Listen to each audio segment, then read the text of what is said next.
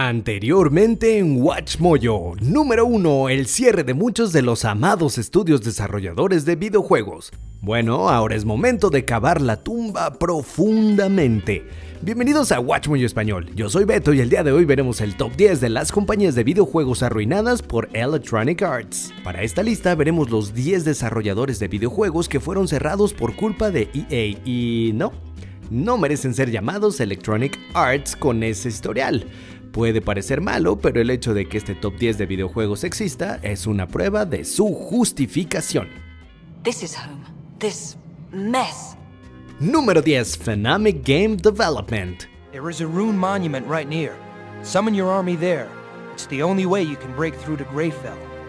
Esta compañía fue creada en 1997 por Volker Vertige y fue el diseñador responsable de The Settlers y The Settlers 3. Desarrollaron Spellforce 1 y 2 y varios juegos de expansión antes de ser comprados por EA en 2006. El nombre fue cambiado con orgullo a EA Phenomic y desarrollaron tres juegos con el nombre de Battleforge, Lord of Ultima y Command and Conquer Tiberium Alliances. Select location.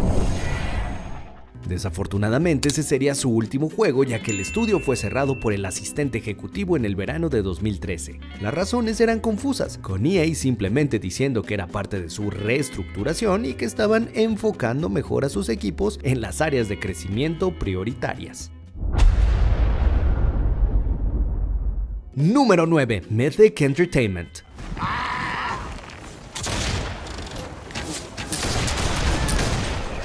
Mythic ha logrado una reputación por sí mismo, desarrollando juegos online como Aliens Online y Dark Age of Camelot. Este último, lanzado en 2001, cinco años antes de su adquisición por EA, fue su título más popular y aclamado. Bajo el nombre de EA lanzaron otro videojuego multijugador llamado Warhammer Online Age of Reckoning, antes de fusionarse con BioWare para formar el tan olvidado BioWare Mythic.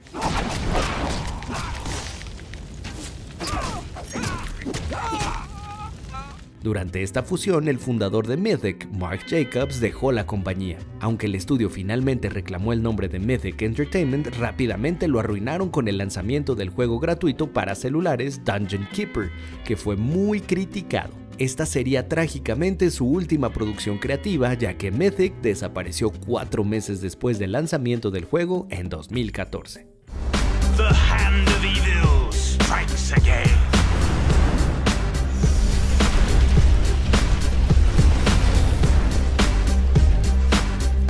Número 8. Bullfrog Productions.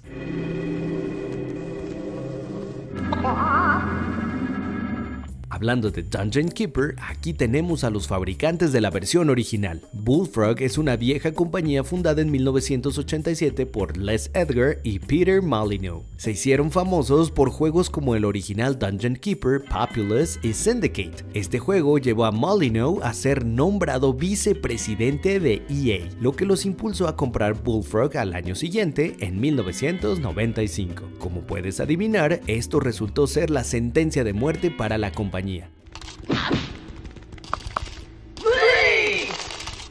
Molyneux odiaba su nueva posición corporativa y renunció, por lo que decidieron prohibirle el acceso a sus oficinas. A otros empleados clave de Bullfrog no les gustó el supuesto enfoque gerencial dictatorial de la oficina central y se fueron con Molyneux.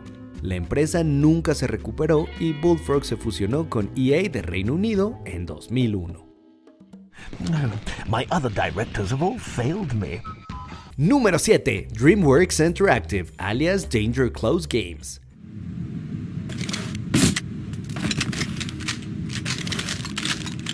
En 1995, Steven Spielberg, DreamWorks y Microsoft se asociaron para crear una empresa conjunta llamada DreamWorks Interactive, con la que desarrollaron varios juegos como Jurassic Park y Goosebumps antes de dar el gran golpe con Medal of Honor y su secuela MOH Underground.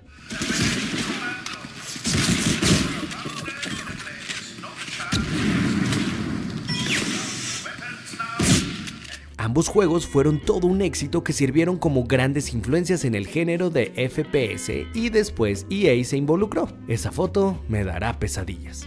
Adquirieron la compañía en el 2000 renombrándola como EA Los Angeles y los pusieron a trabajar en el vergonzoso GoldenEye Rogue Agent y más juegos de Medal of Honor.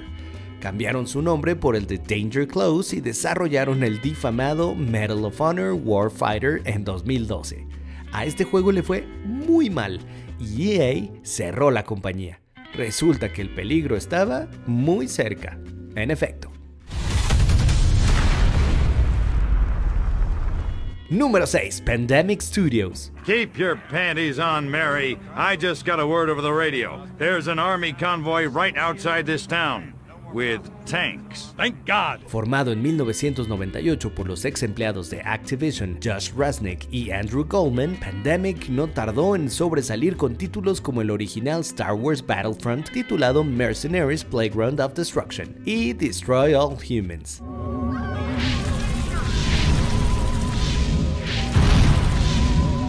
Las cosas iban muy bien para Pandemic hasta que Caro Arcade compró su empresa matriz, VG Holding. La compañía solo lanzó dos juegos bajo el mando de sus nuevos dueños. Ambos fueron mal recibidos, Mercenaries 2 World in Flames y The Lord of the Rings Conquest. La sucursal australiana de la empresa se cerró poco después de su lanzamiento en enero de 2008 y toda la empresa en noviembre. Despidieron a 228 personas y 35 fueron incorporadas a EA Los Angeles. La pandemia tuvo su propia pandemia y se llama EA.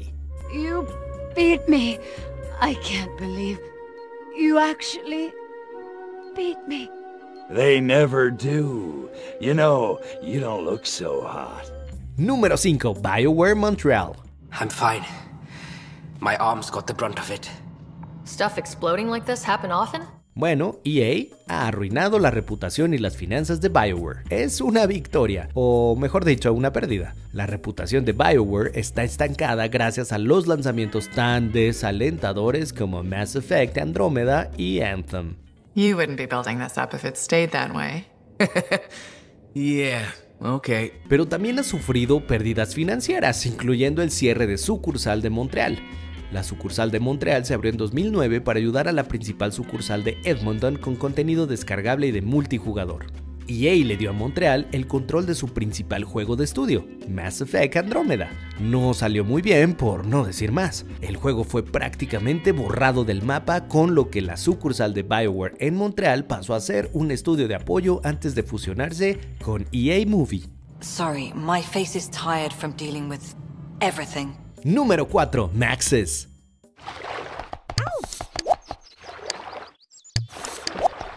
Maxis fue fundada en 1987 por Will Wright y Jeff Brown y no tardó en tener éxito con sus juegos de simulación. SimCity, lanzado en 1989, realmente los puso en el mapa. Fueron adquiridos por EA en 1997, tres años antes de que volvieran a triunfar con los Sims.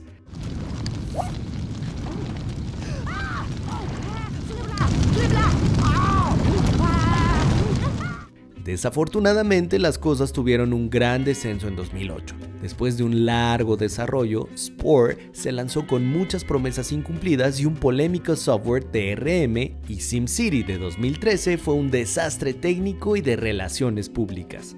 Dos años después de su lanzamiento, el estudio principal de Maxis en Emeryville fue cerrado y el equipo consolidado fue enviado a trabajar con EA Mobile. El nombre de Maxis sobrevive hasta el día de hoy, pero la compañía que lo respalda murió en 2015.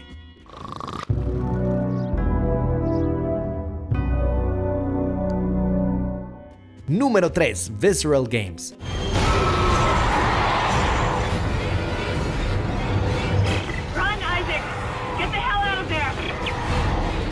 Visceral es una compañía un poco diferente ya que en realidad comenzó como una subsidiaria de Electronic Arts.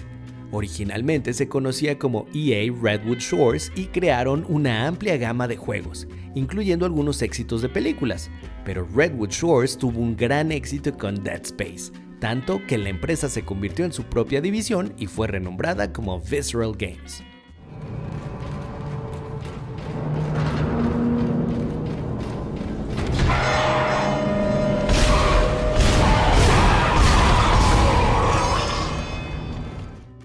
Desafortunadamente, Dead Space 2 fue considerado una decepción financiera, así que EA ordenó a Visceral que hiciera más accesible Dead Space 3, lo que aparentemente significó añadir microtransmisores y una mecánica cooperativa. Esto resultó contraproducente. Sin embargo, lo que finalmente acabó con Visceral fue su juego de Star Wars para un solo jugador con el nombre de Project Ragtag, al que sus superiores eliminaron porque pensaron que los juegos para un solo jugador ya no eran rentables. Sí, claro. And I just hope that every fan walks away going, wow, I never thought they were going to bring my Star Wars fantasy to life. Número 2. Origin Systems.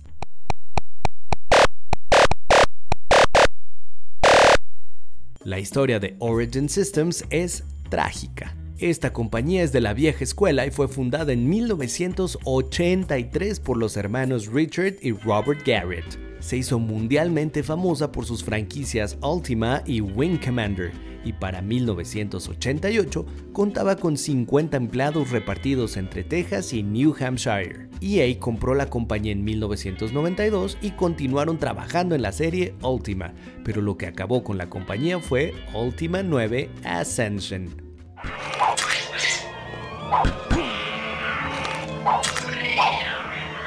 El juego fue un terrible desastre debido a problemas técnicos y a una historia que ignoraba o tergiversaba los puntos de la trama del juego anterior, por lo que solo se hicieron 75.000 copias. Al no tener confianza en el equipo, EA canceló todos sus proyectos pendientes, lo que provocó la renuncia del fundador Richard Garriott. Después de que continuara únicamente para apoyar a Ultima Online durante unos años, la compañía cerró en 2004. What future path? This I cannot see. I only know it to be true. Antes de continuar, asegúrate de suscribirte a nuestro canal y activar las notificaciones para ver más videos. Número 1. Westwood Studios. Reporting. Affirmative. Yes, sir. Moving out. Yes, sir. Moving out. Construction complete. Fundada en 1985 por Brett Berry y Louis Castle, Westwood fue el abuelo del género de RTS con Dune 2, antes de tener un éxito increíble con su serie Command and Conquer. La franquicia les hizo ganar un lugar en los Record Guinness como la serie RTS más vendida. You better double check this with NORAD. Doesn't make any sense. Por supuesto, Electronic Arts vio signos de dólar y compró la compañía por 122.5 millones de dólares. Pronto se rindieron ante las demandas de EA y Joe Bustich de Westwood afirmó que el cambio de la pasión a ganancia cobró su precio. Pero finalmente cerraron la compañía después de que algunos lanzamientos no cumplieran con sus grandes expectativas. En 2015, Sperry y Castle recibieron el premio The Game Awards al ícono de la industria por la contribución de Westwood a la industria del juego. ¡Qué manera de arruinar un increíble legado! Los imbéciles del entretenimiento. It's uh, great fun to keep making games. Um, I'm still making them. I'm not going to stop till I fall. ¿Estás de acuerdo con nuestras elecciones? Echa un vistazo a estos otros videos de WatchMoyo Español y asegúrate de suscribirte y activar las notificaciones de nuestros últimos videos.